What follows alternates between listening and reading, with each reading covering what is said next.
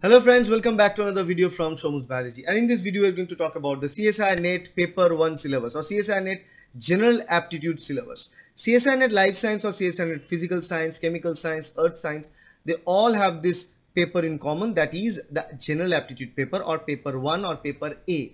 Now, the paper 1 syllabus is not properly mentioned. But still, by looking at the last 10 years questions from CSIR NET examination, we can predict the type of topics from where they are asking questions. So for that reason, I'm going to tell you about the general idea of different syllabus pattern for general aptitude paper. It starts with, you know, first of all, height and distance problem.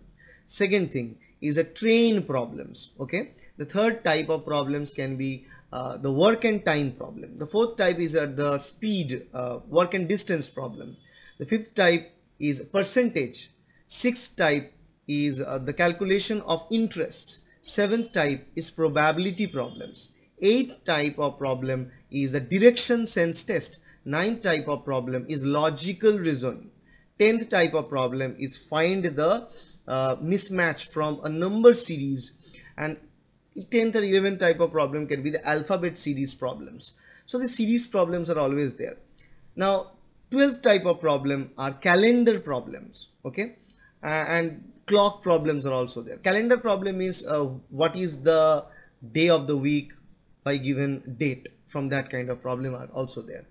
And apart from these things there will be there will be other problems like iq based problems which are you know character interpretation data interpretation problems and also there will be problems related to the puzzles. There will be puzzles uh, picture puzzles or alphabetical puzzles that you, you may need to solve and also surface area volume problem is another very very important problem uh, very, very important topic from the syllabus. From there ask a lot of question from that topic.